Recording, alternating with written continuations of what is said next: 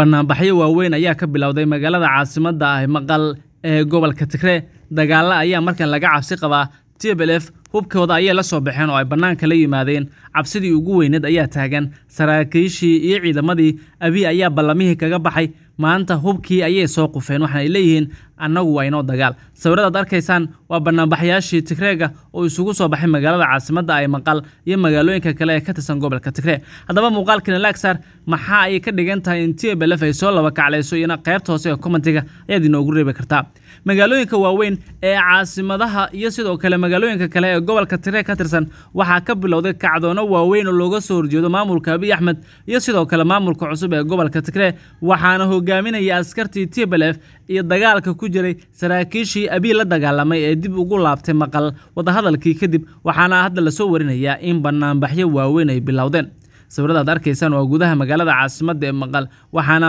warbaahinta lala wadaagay sawiradan iyaga oo dadku ka cabanaya abiy axmed inuu kaga baxay ballamo ay galeen kol hore waxaana askartu ay bilaabeen in ay hubkooda la soo baxaan oo ay u sheegaan abiy in ay la diriri doonaan ama ay la dagaalami doonaan haddii uusan ka dhabeen qorshihii uu ka ballanqaaday kol hore waana arrinta keenaysa in ay qayb muhiima ka noqdaan dadka gobolka tigre ka soo jeeda dowladda abiy. Abiy ilaa iyo hadda war kama soo saarin oo arrinkaas kama soo hadlin waxaana uu leeyahay in arrintaasi ay muhiimad gaara u leedahay dhinacyada oo ay jaanad u siinayso in isbeddel weyn uu ku yimaado dhinaca amniga iyo sidoo kale xasiloonnida gobolka tigreega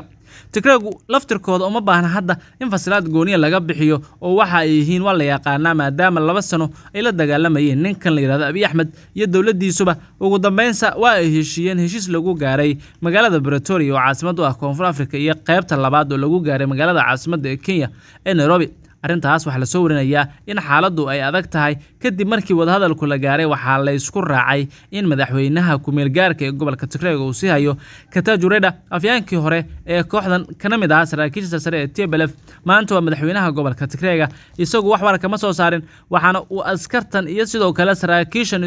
waa isku soo baxay ay yihiin kuwo ay isla ogyihiin baa la leeyahay waana suuragal in mar kale dagaalla ay ka curtaan gobolka tigreega ee waqooyiga etoobiya ku yaalla dhanka kale haddii aynu eegno wararka soomaalida la xidhiidha xildhibaano iyo senatare ka soo jeeda deegaanada koonfur galbeed soomaaliya kana tirsan baarlamaanka federaalk ayaa maanta waxay kulan deg dega ku yeesheen. Magaalada muqdisho iyagoo kaga hadlaya xiisada ka taagan magaalada baraawe oo caasimada maamulkaasi ah halkaas oo ay ka socdaan dagaalo culus oo u dhexeeya maleeshiyaad hubaysan oo sida qabaa'ila waa u hubaysan baraabe waxaa ka taagan xiisad culus oo qaraxday kilinkii dambe ee shalay kadib markii ay gudaha magaalada ku dagaalameen ciidamo ka kala tirsan militariga soomaaliya iyo daraawiishta koonfur galbeed soomaaliya. Xildhibaanada laga soo doortay deegaanada koonfur galbeed ayaa waxa ay eedeyn culus u jeediyeen ciidanka xoogga dalka ee ka howlgala magaaladaasi iyagoo sheegay in tobankii sane la soo dhaafay ay shacabka reer baraabe dhibaano u yihiin ciidamada militariga soomaaliya weerarkii shalay madaxtooyada koonfur galbeed ay ku qaadeen ciidanka xoogga dalka. Waxaa mas'uuliyaddiisa qaadaya taliyaha ciidankaasi cabdiraxmaan cilmi jimcaale wuxuuna qalqalgeliyey xasiloonida degmada baraabe wuxuuna caqabada ku yahay jiritaanka koonfur galbeed. Ayaa lagu yidhi bayaan ka soo baxay xildhibaanada eedeynta ay xildhibaanadu u jeediyeen waa sarkaalkaasi ayaa lagu yidhi cabdiraxmaan isagoo huban shaarka dowladda waxa uu tobankii sane la soo dhaafay dhibaato ku hayay shacabka degmada baraawe wuxuuna sarkaalkan ka soo horjeedaa jiritaanka dowladnimada koonfur galbeed soomaaliya sidoo kale xildhibaanadan waxa ay bayaankoodu ku sheegeen in guud ahaan gobolka shabeellaha hoose lagu dhibaateeyo shacabka maadaama saraakiisha hogaamisay ciidanka xoogga dalka ee gobolkaasi jooga ay isku heb yihiin. Sida ay sheegeen xildhibaanada koonfur galbeed ku matala baarlamaanka federaalk soomaaliya. Waxaan u cambaareynayna ciidanka admis ee ka howlgala degmada baraabe waxay garoonka diyaaradaha ee degmadaasi ku wareejiyeen maleeshiyaad qabiil ah oo sheegtay inay yihiin ciidamada xoogga ayuu yidhi xildhibaan akhriyey bayaankan sidoo kale war-saxaafadeed ka soo baxay ayaa lagu sheegay in ciidanka admis ay askari dhaawaca ay ku wareejiyeen ciidamada militariga ee jooga baraawe kaas oo goobta lagu toogtay sida lagu caddeeyey bayaanka. Dowladda federaalk waxaan ugu baaqaynaa in ciidanka militariga ee jooga baraawe la soo qaado kadibna laga qaado tallaabo waafaqsan. Dunuubta ay geysteen ayaa sidoo kale lagu yidhi bayaanka ee ka soo baxay xildhibaanadan ka tirsan baarlamaanka xaaladda magaalada baraawe ayaa laga deerinayaa maalmihii la soo dhaafay waxaana suuragala halkaasi in dagaalada socdo ay saameyn ku yeeshaan dadka deegaanka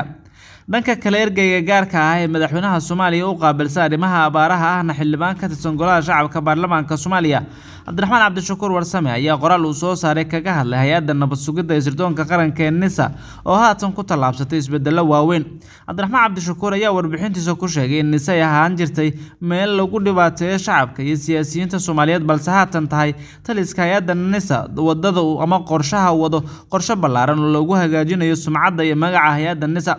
sidoo kale waxa uu bogaadiyey waa xafiiska cusub ee garmaqalka dadweynaha oo hay'addu ay soo kordhisay si ay ugu jawaabto cabashooyinka shacabka iyo eedeymaha loo jeedinayo. Ma aha in muwaadinku uu cabashadiisa oo qora u gudbiyo ee waa in uu tabiyaa haddii uu arka xadgudub lagula kacayo muwaadin kale ayuu yidhi cabdiraxmaan cabdishakuur warsame. Waa mid siloon sooyaalka hay'adda nabad sugidda soomaaliya ee nisa burburkii ka hor iyo kadib waxay ahaan jirtay hay'ad lagu caburiyo laguna cabsigeliyo shacabka iyo siyaasiyiinta taasi waxay dhalisay in dad badan ay sas iyo sumcad xumo la xiriiriyaan magaca hay'addan haddaba hagaajinta sumcadda magaca iyo waxqabadka hay'adda waa laga maarmaan in loo sameeyo sharci ay labada gole ee baarlamaanka kula xisaabtami karaan hay'adda iyo howlwadeenkeeda waxay ahayd tallaabo wanaagsan. Furitaanka xafiis ay dadweynuhu toos ugu gudbin karaan tabashada ay ka qabaan xadgudubyada ay galaan saraakiisha ama ciidamada nisa ee ka dhanka ah xuquuqda iyo xoriyadulqowlka asaasiga ah ku-tagrifalka awoodeed iyo cadaalad darada musuq maasuqa iyo dhammaan dhaqanada dhaawici kara sumcadda hay'adda ama bini-aadanimada ka baxsan. Waa tallaabo shacabka u furan ama u faraya ilinka la xisaabtanka nisa. Dalal badan ayaa leh xafiisyo iyo hay'ado madax bannaan oo looga cawdo xadgudubyada iyo takrifalka u geystaan hay'adaha amniga. Waxaase waa kuwo madax bannaan oo aanu hay'adda hoos tegin hase yeeshee inuu hogaanka hay'adda uu hal abuurkan oo kale la yimaado iyadoon cidno ku qasbin waa tallaabo bogaadin mudan waxayna wax ka tari doontaa dagaalka lagula jiro kooxaha argixisada sababtoo ah dagaalka lagula jiro argixisada waxaa lafdhabar u ah sirdoon bulsho community intelligency kaas oo lagama maarmaan ay tahay in shacabku ku kalsoonaado hay'adda sirdoonka si ay ula wadaagaan xogta la xiriirta argixisada haddaba ma aha in muwaadinku uu cabashadiisu oo uu qora u gudbiyo ee waa in uu tabiyaa haddii uu arka xadgudub lagula kacayo muwaadin kale ama dhaqan habdhaqan aanu wanaagsanayn oo ay ku kacayaan ciidamada nisa waxaanu ku boorinaynaa laamaha kale ee amniga gaar ahaan booliska in ay ku daydaan hay'adda nabad sugidda oo ay furaan xafiisyo looga cawdo xadgudubyada ay ku kacaan ciidanka booliska soomaaliyeed. Waxaan sidoo kale u soo jeedinaya xukuumadda inay dhisto xafiiska waa gardoonka uu dhismihiisu farayo qodobka boqol labaatan sagaalaad ee dastuurka kumeel gaarka si ay dadweynaha u helaan hay'ad madax bannaan oo looga cawdo xadgudubyada ciidamada iyo hay'adaha kale ee maamulka dowladda. Qoraalkaas ayuu cabdiraxmaan cabdishakuur ku daabacay bogkiisa gaarka ee facebook isaga oo tilmaamay in hay'adda nisa ay tahay markii ugu horreysay inuu ammaanayo. Cabdiraxmaan cabdishakuur warsame xildhibaan ka tirsan golaha shacabka ahna la taliyaha arrimaha biniaadanimada ee madaxweyne xasan sheekh ayaa dowladii tan ka horeysay oo hogaaminayay maxamed cabdulaahi farmaajo. Waxa uu ka qaba tabashooyin badan isaga oo ahaa mucaaradkii ugu weynaa ee dowladdaasi ay lahayd balse dowladdan ayuu muuqataa in uu leeyahay saaxiib dhow maadaama ammaantiisu ay ku badan tahay marka dhaliilihiisa laga soo tago guddaan saxabiir halkaas aynu ku soo gabagabeynaya barnaamij hureedkeena tan iyo qaybta kale intaanu ku kulmi doonno nabadgelyo